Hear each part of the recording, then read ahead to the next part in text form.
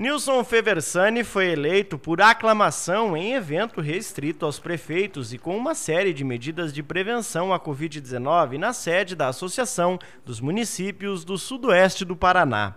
Temos uma grande meta juntamente com a habitação, saneamento básico e a infraestrutura do aeroporto regional.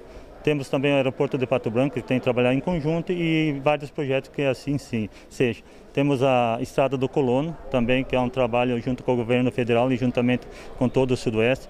Então vem esse trabalho aí, juntamente com o governo, apoiar essas causas mais nobres.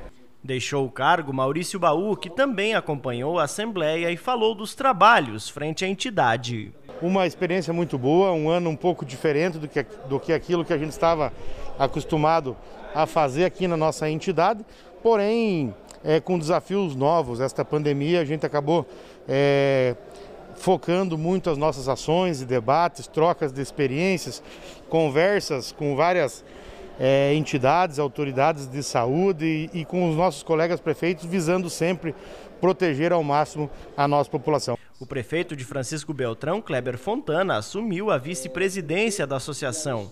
No primeiro debate de 2021, a entidade discutiu a Lei Complementar 173, que congela salários do funcionalismo público até dezembro deste ano, em função da pandemia.